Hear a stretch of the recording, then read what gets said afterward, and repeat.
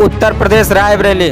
उत्तर प्रदेश रायबरेली जिला अस्पताल में जहाँ हज़ारों लाखों की भीड़ देखी जाती थी, वहीं आज कोरोना वैश्विक महामारी के चलते दो चार व्यक्ति ही नज़र आ रहे हैं और वहीं पर कोई कोई वार्ड बिल्कुल खाली पड़े हैं, डॉक्टर भी नहीं है, छुट्टी पे हैं, ताला लगा हुआ है और इस कोरोना जैसी वैश्विक महामारी में यदि कोई व्यक्ति बीमार पड़ जाए तो उसको झेलने पड़ सकते हैं अपनी जान की आफत।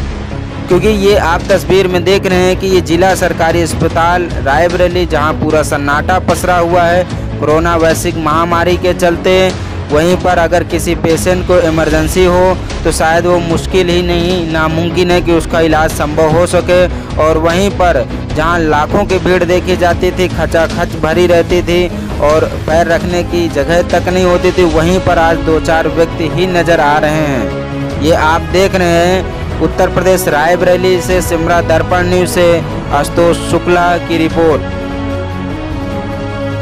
कि कैसे लोगों के अंदर एक भय, कोरोना वैश्विक महामारी का बसा हुआ है और वहीं पर जिला अस्पताल प्रशासन द्वारा बड़ा सख्त प्रक्रिया अपनाई जा रही है, क्योंकि इसका इलाज संभव ही नहीं, नामुमकिन है। घर में रहें, सुरक्षित रहें।